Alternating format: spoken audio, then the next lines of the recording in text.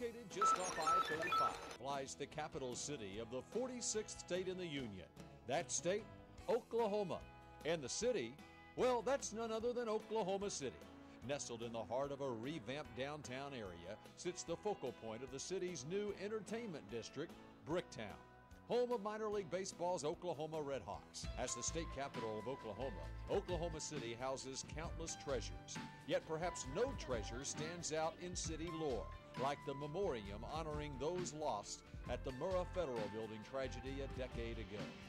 From that tragedy, the city has seen a rebirth, showing amazing versatility, especially in recent months. Take the Ford Center, for instance, which now plays host to an NBA franchise, the temporarily displaced New Orleans Hornets.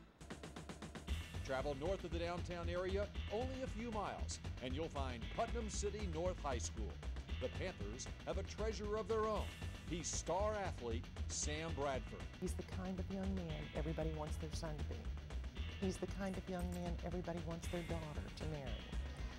He's the kind of student we want in our academic classes. He's the kind of student all the coaches want on their athletic teams. Everything he does, he does well, and he does without any pretense. You know, he just goes, comes to class, does his work, goes on the field or the court, whatever he's playing, and just does a great job. And uh, you know, people notice that, and so people are attracted to him because he's he's good at everything he does, and yet he's so modest about everything. You know, you'd never know it. You know, if he wasn't six foot five and uh, you know, have the credentials he has, you wouldn't know he was a great athlete. He, he doesn't have any airs about him or anything. He just comes out and does what he's supposed to do. And, you know, he's, he's a coach's dream. He's a teacher's dream. Uh, he's, he's a great kid. He is as competitive in the classroom as he is out on the football field or the basketball court or the golf course. He is, he is competitive, but he's, he's very quiet in class. He doesn't have to be the star in the classroom. Although he is the star in the classroom, he isn't. He uh, usually makes the highest grades on my English tests, and they're usually not very easy. You always dream of having kids like Sam Bradford, and, and, and you're blessed to have great kids that come through Putnam North, but uh, Sam's one of those exceptional kids, and uh, you know, I'm glad to see him get the publicity. I think, as far as he's concerned, he just soon to be over with, you know, and I think kids get to that point, but uh, the things that you guys are doing for high school kids and getting exposure and stuff for them, I think is tremendous for these young kids. And, and Sam's the type of kid that he handles it very well. Uh, his buddies, I'm sure, give him a hard time about it, give him the business, but uh, he handles it very humbly and he takes it for what it is. And, uh, and he's a tremendous athlete in this program. Today, Bradford's a standout quarterback on the football team. Yet this senior signal caller offers up much more when it comes to sports. He's played hockey. Uh, he uh, he plays the cello, I believe. Uh, you know, he'll beat you at checkers. I mean, it's just he's just a real competitor, and he's been pretty well hooked up in a lot of different sports, and just been real competitive and real versatile. He's got a lot of things. It's whatever I'm playing. If I'm playing football, it's football. If I go play basketball, it's basketball. It's just whatever I'm doing. Back when he was real young, Sam had a ball drawer and it was a drawer that just had balls, all types of balls, small balls, big balls, you know, and he would crawl in his drawer and empty them all out, just start, you know, humming them around the room. And then he'd crawl out and he'd go around the room and start throwing them back in that drawer. You know, so I thought, well, yeah, hey, it's a good sign. He likes balls. And a beautiful touch pass from Bradford for six. Football, I think my strength is probably my uh, just the mental aspect, being able to take everything in, being pretty smart, knowing where to throw, when to throw, when to run. Basketball would probably be uh, just my size and uh, ability to shoot the three. Like, I'm a pretty good shooter, so I think, you know, I can get a little mismatch, you know, get a smaller guy, and then I can take him to the post if I need to because I play the guard.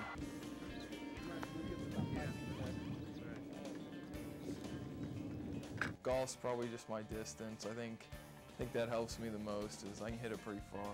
Sam developed his talents playing all sports as a kid, but that skinny little kid with a great smile is all grown up now. And during this, his senior year, he's become the leader so many had envisioned. We kind of knew about Sam as he was coming up, and then when he got here as a freshman, it was he was he was just head and shoulders above most of the other kids.